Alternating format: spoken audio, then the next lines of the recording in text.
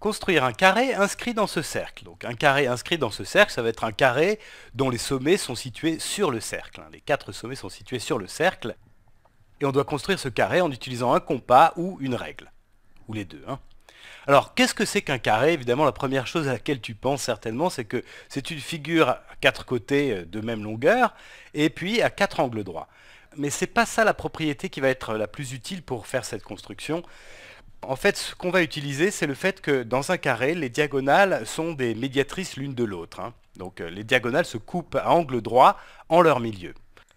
Alors du coup, ce que je vais faire déjà, c'est tracer un diamètre, un diamètre de ce cercle. Voilà, donc je me place, je place un sommet, une extrémité de mon segment sur le cercle et la deuxième extrémité sur le cercle aussi, en passant par le centre. Donc ça, c'est un diamètre du, cercle.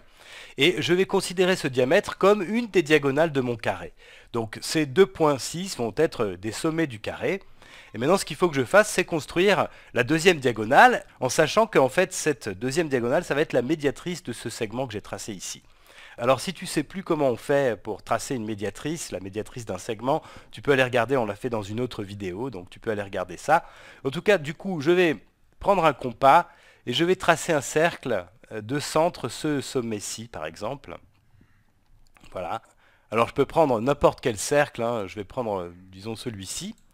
Et maintenant, ce que je vais faire, c'est prendre un, autre cercle, tracer un autre cercle, voilà, et je vais le placer, euh, je vais placer le centre en ce deuxième sommet, et l'important, c'est qu'en fait, je dois, je dois tracer un cercle qui a exactement le même rayon que le cercle que j'ai tracé avant.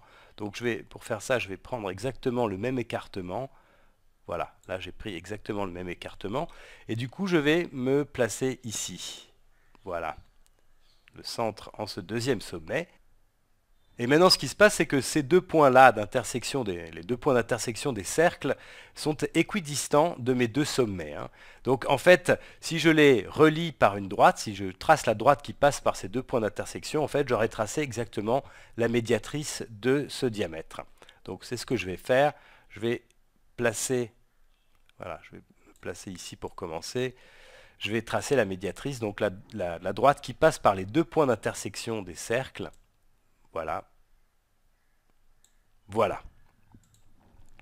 Et maintenant, en fait, je, vais même faire comme ça, en fait, je vais m'arrêter sur le cercle. Faire ça proprement. Voilà.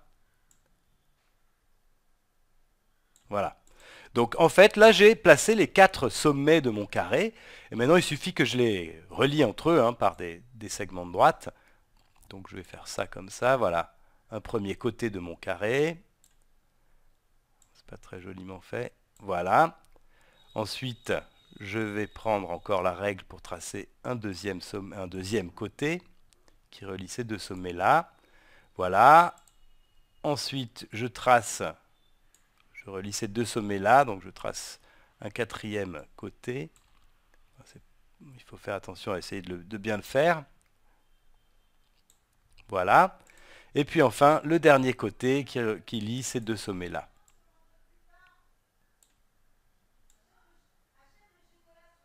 Donc là, j'ai effectivement tracé un carré, puisque les diagonales, ce sont deux diamètres du cercle, donc elles ont la même longueur, et en plus, elles sont médiatrices l'une de l'autre, donc elles se coupent à angle droit en leur milieu. Donc ça, c'est bien un carré, on va voir si c'est bon. Voilà